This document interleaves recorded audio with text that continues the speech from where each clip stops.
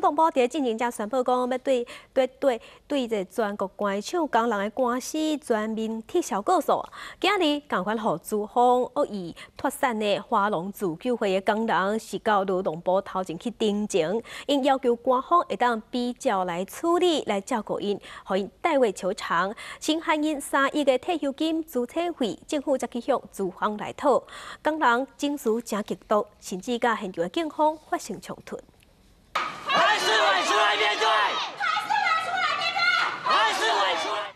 来。今仔十位华龙自救会工人甲警方爆发冲突，目的就是爱劳动部出面答应协助代位求偿，偿还因三亿的退休金。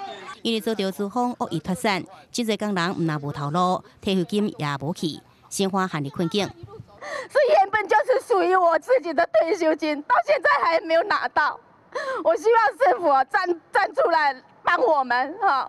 先给我们我们退休金的钱，再政府再向那个资方去讨钱。华龙自救会指控资方当年无确实提拨退休金，表里官府的罗社区也无说付客啥，一直到华龙罢工案爆发，才开发无够六十万块。现年官方的发誓无健全，无申请监督责任，造成华龙案敢若亲像全国关厂工人的案件共款。看到劳动部宣布对全国关厂工人的官司全面撤告了后，华龙自救会要求劳动部也以代为求偿方式，先偿还因退休金，再去向资方来对讨。我们我们就是跟他们就是同一个案子的翻翻版。就是受害者，所以我们希望劳动部能够，他既然已经升格，他更应该为我们劳工做些事情哦。所以我们希望他能出来代位求偿。我想我们会收到各位的这个这个陈情的意见之后，由我们的这个相关的这个单位审慎研议之后，再跟这个这就会来联系。